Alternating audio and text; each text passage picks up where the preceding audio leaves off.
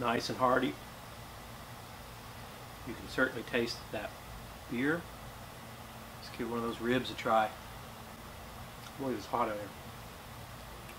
Oh, this is just full of flavor. The pork is so nice. Let me try that uh, pork belly.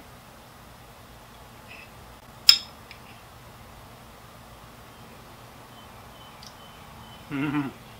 Man. I mean, this is really hearty. Really hearty.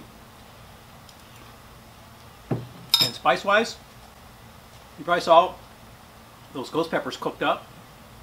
It is a little spicy. Um, if jalapenos are hot for you, then this is going to be just a little bit too spicy. Uh, in fact, you could substitute the ghost peppers uh, with jalapenos. For those of you that like things really, really hot, this is maybe a four, you know, a three, four on a heat scale. You could even leave the peppers out if you don't like spice at all. What a really nice dish. Hey, thanks for watching another one of our episodes. Again, I'm Jeff with ArmadilloPepper.com.